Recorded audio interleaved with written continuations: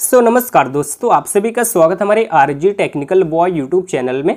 सो so, friends आज के इस वीडियो में आप लोगों को बताने वाला हूँ कि अगर आप लोग कार्ड से कहीं पर भी पेमेंट कर रहे हो चाहे वो ऑनलाइन ट्रांजेक्शन कर रहे हो या फिर अगर आप ऑनलाइन शॉपिंग कर रहे हो तो ऐसे में अगर आप कार्ड से पेमेंट करना चाहते हो तो वहाँ पर आपसे जो है कि सीवीवी मांगा जा रहा है ठीक है?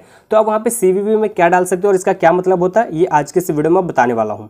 सबसे पहले यहाँ पर मैंने फ्लिपकार्ट ओपन कर लिया है और यहाँ पर देख सकते हो जैसे कि यहाँ से हम बैक आ जाते हैं।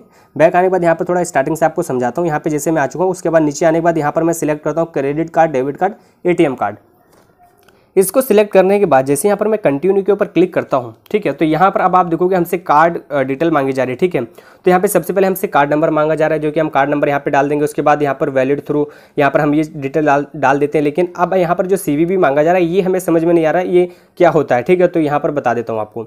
सबसे पहले यहाँ पर मैं गैलरी में आ चुका हूँ अपने, और यहाँ पर देख सकते हो मेरे पास यहाँ पे कई सारे कार्ड है।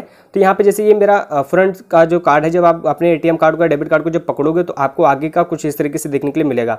तो यहाँ पर आपको कार्ड नंबर देखने के लिए मिलता है, जो कि आप यहाँ पर कार्ड नंबर डाल सकते हो, यहाँ पे लिखा हुआ है कार्ड नंबर ठीक है? उसके बाद वैलिड थ्रू में आप यहाँ पे जो आपको ये देखने के लिए मिलता है मंथ और ईयर ये आपको डाल देना है। अब मेन चीज़ आती है सीवीवी तो आप कार्ड को जब बैक साइड देखोगे, पलटोगे कार्ड को तो उसके बैक साइड में आप देखोगे यहाँ पर थ्री डिजिट का आपको सीवीवी सिक्योरिटी कोड देखने के लिए मिल जाएगा। तो वही आपको यहाँ पर ला करके इस तरीके से डाल देना है थ्री डिजिट का, ठीक है? तो इस तरीके से आप इसको डाल दो। डालने के बाद फिर आप यहाँ पर पे के ऊपर क्लिक कर देना।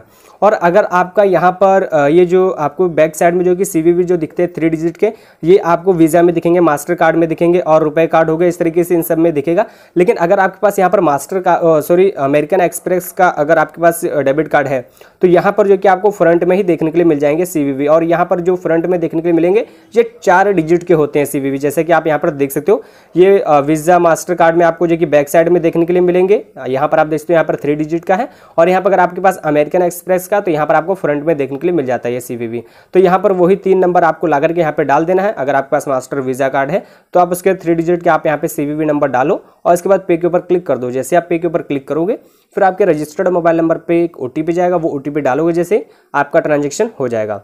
दोस्तों अगर आपको ये वीडियो अच्छा लगा तो प्लीज़ वीडियो को लाइक कर देना और अगर आप मेरे से कुछ सवाल पूछना चाहते हो तो यहाँ पर आप मुझे कमेंट करके पूछ सकते हो इस तरीके से।